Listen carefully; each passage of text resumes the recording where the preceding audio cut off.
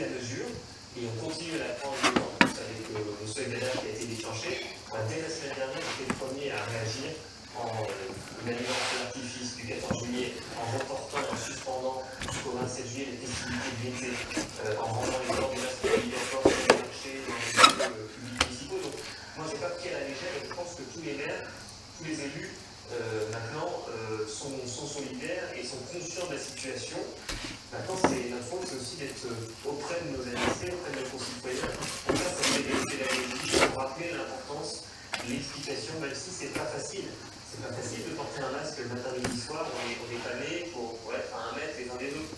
Mais là, on est vraiment dans une période de de faire ralentir cette, cette, cette épidémie sur notre territoire. Et donc, euh, respecter les gestes barrières et se faire dépister, deux manières d'agir en citoyen et en responsabilité aujourd'hui. Une dernière question, monsieur le maire, si la situation venait à se dégrader, vous seriez prêt à aller jusqu'où Est-ce qu'un reconfinement un confinement partiel en Mayenne est envisageable Alors là, je n'en est pas là, mais c'est une décision de l'État. Hein. Il faut que chacun assume ses responsabilités, en concertation bien évidemment, mais ce n'est pas de mon ressort. Il faudra voir comment on évolue la situation.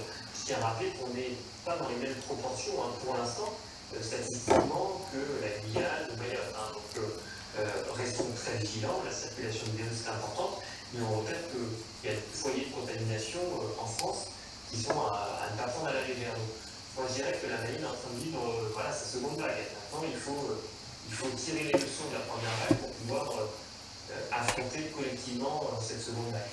Merci, monsieur le maire. Merci à de répondre à nos questions ce matin en direct dans le, la LPFM. Rosine Dupont, on l'évoquait tout à l'heure. À, à l'étranger aussi, l'épidémie de Covid repart ou même accélère.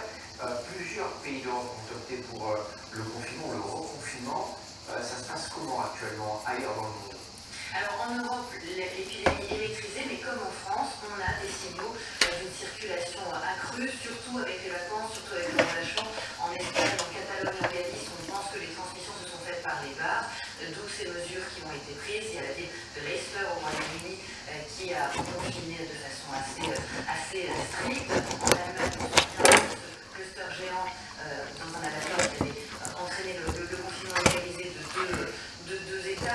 Après, dans les Amériques, au pays, euh, là, c'est la première vague hein, qui est toujours là et qui se décale aux États-Unis, effectivement, entre le nord et l'est vers le sud et l'ouest. Il y a l'Amérique du Sud qui inquiète beaucoup. C'est pour ça que l'OMS continue à dire que le pic n'est pas atteint au niveau, euh, au niveau mondial. 150 000 morts hein, dans, euh, dans les Caraïbes et, et. La, la pente, enfin, quand on regarde la dynamique, elle est mauvaise parce qu'en en gros, les, les courbes en Europe ont monté et puis on a atteint un plateau. Mais les Amériques, on est comme ça encore. Donc là, le, le plateau n'est pas atteint et le pic au niveau mondial n'est pas atteint. Ce qu'on regardait aussi de près, c'est l'Australie et la Nouvelle-Zélande parce qu'on peut comparer un petit peu avec l'Europe. Elles sont entrées dans l'hiver et on a bien vu qu'il y avait des preuves de circulation du virus avec Melbourne qui a choisi pour six semaines de confiner de façon drastique 5 millions d'habitants. On ne sort que pour aller travailler, faire ses courses ou prendre l'air pour des activités physiques. Ça nous rappelle évidemment quelque chose. Six semaines pour réussir à faire baisser le nombre de cas. Le Japon aussi a pris des mesures très strictes à Tokyo. C'est la seule solution, encore une fois. Pas seulement pour il n'y a que la prévention. Voilà, et en France, l'actualité de la matinée, évidemment, c'est cette requête du gouvernement de l'entreprise contre plusieurs foyers de Covid-19 de mettre en place l'obligation de port du masque dans les lieux publics sans attendre le 1er août. Le préfet Mayenne euh, doit s'exprimer donc d'ici 45 minutes. On, vous tiendra au courant évidemment de ce qui est dit sur place avec probablement les derniers chiffres et, les décisions euh, d'imposer le, le port des masques dans l'ensemble du, du territoire. Et voilà. Et 9h45 très précisément l'actualité de ce sont aussi les mots, les mots forts de Laura Smith, la fille de Johnny. Oh, ils nous font chier encore avec ça.